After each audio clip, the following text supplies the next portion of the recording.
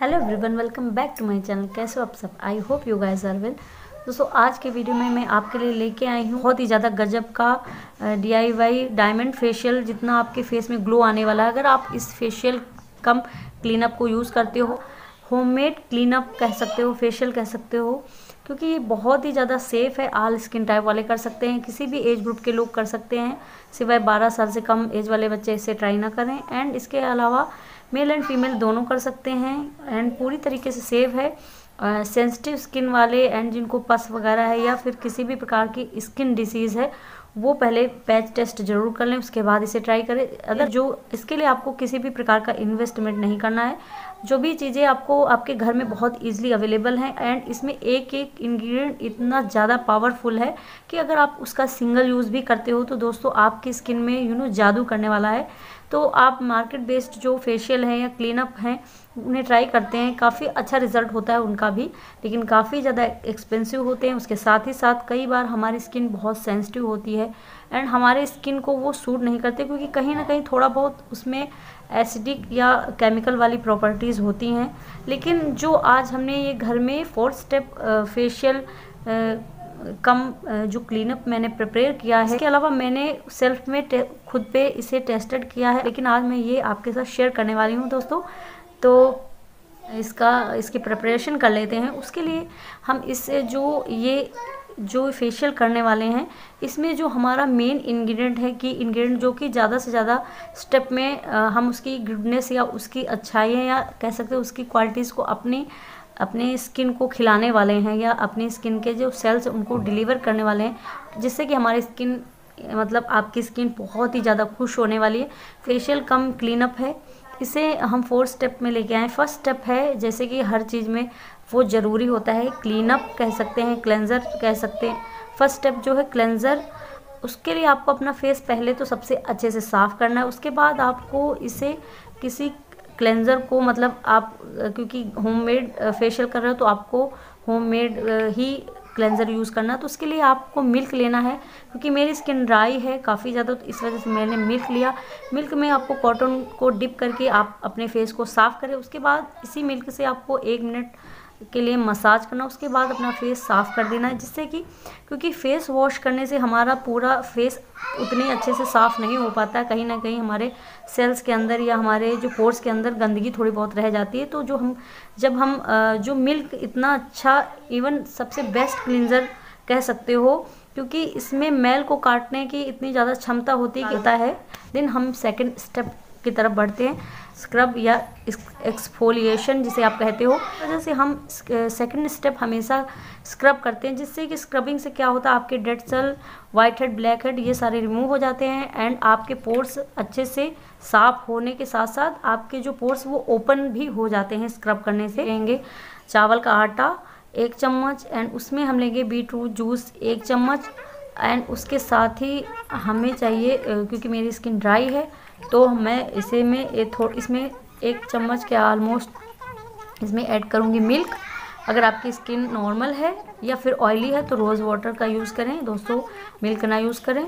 And इसके बाद इसे अच्छे से मिक्स करके आपको अपने फेस में इसे अप्लाई करना है पहले पूरे फेस उसके बाद आपको जेंटल हाथों से रब करना कस कम से कम पाँच मिनट के लिए यहाँ पे यहाँ पे यहाँ पे ब्लैक हेड्स होते हैं बहुत छोटे छोटे यहाँ पे काफ़ी ज़्यादा ब्लैक हेड्स का डिपोजिशन हो जाता है दोस्तों।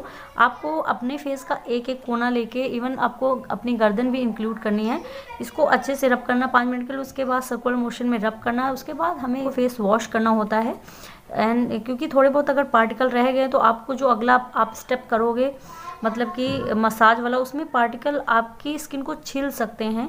इस वजह से हम स्क्रब करने के बाद आपको हमेशा अपना फेस बहुत अच्छे से वॉश करना चाहिए। देन आपको थर्ड स्टेप करना है। थर्ड स्टेप के लिए आ, हम फिर से ले लेते हैं दोस्तों आपको लेना है दही।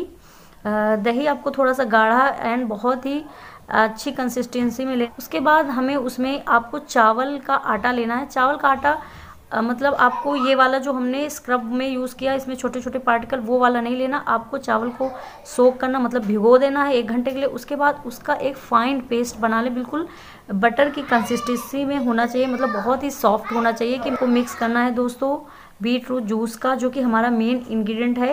एंड इसके अलावा हम, हमें लेना है एलोवेरा जेल इन चारों चीज़ों को बहुत अच्छे से मिक्स कर लें। इसका एक, इसकी एक क्रीम बना लें, जैसे कि मसाज क्रीम हमारी प्रिपेयर है।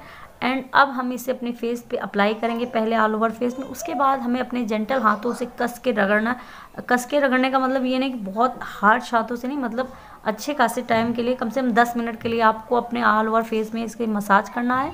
गर्दन में यहाँ पे यहाँ पे यहाँ पे ऑल ओवर फेस पे सर्कुलर मोशन में आपको जो फेशियल की टेक्निक है, उसे सही करना है। मतलब सर्कुलर मोशन ही होना चाहिए इस तरीके से कि बाहर मतलब उल्टा ना कर। इसे मसाज करने के बाद फिर 10 मिनट कम से कम मसाज करो, उसके बाद इसे साफ़ कर दें। एंड हमारा फोर्थ स्टेप है दोस्तों। फोर्थ स्टेप है कि चुकंदर में बहुत अच्छी प्रॉपर्टीज़ होती है स्किन को लाइटन करने की ब्राइटन करने की एंड आपकी स्किन में एक अलग ही गुलाबी ग्लो ऐड करेगा।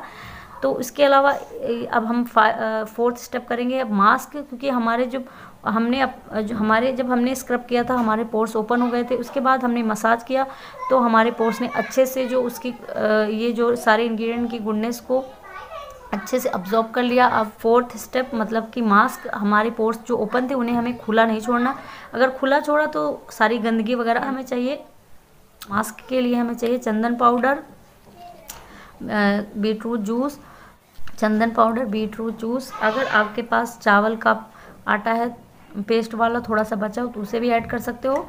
अदरवाइज़ स्किप कर सकते हो। अगर आपके पास चावल का आटा नहीं तो दोस्तों आप नॉर्मल आटा भी यूज़ कर सकते हो। मैंने जितनी जितनी जगह पे चावल का आटा यूज़ किया, अगर आपके पास चावल का आटा नहीं है तो आप नॉर्मल जो गेहूँ का आटा हम लोग इंटेक करते हैं, या किसी भी प्रकार का आटा हो ओट्स का, जई का, जो भी मल्टीग्रेन आटा हो, आप उसे यूज़ कर सकते हो। क्योंकि हमारी स्किन को निखारता है, हमारी स्किन को टाइटन का हमारी स्किन को टाइटन करता है मतलब समय से पहले हमें रिंकल्स नहीं आना इसके अलावा आपकी स्किन को ठंडक भी पहुंचाता है। अगर आपकी स्किन में इन्फ्लामेशन पिंपल्स वगैरह या बहुत ज़्यादा जलन वगैरह होती है तो इसे ये सूदन करेगा, शांत करेगा। तो इस पेस्ट को अच्छे से बना के हमें ऑल ओवर फेस में अप्लाई करना है। एंड उसके बाद इसे हमें छोड़ देना कम से कम पंद्रह मिनट। उसके बाद जब मेरी, हमारी हमारा फेस सूख जाए, पूरी तरीके से बहुत ज़्यादा नहीं सुखाना है। अदरवाइज़ आपकी स्किन ड्राई भी हो सकती है।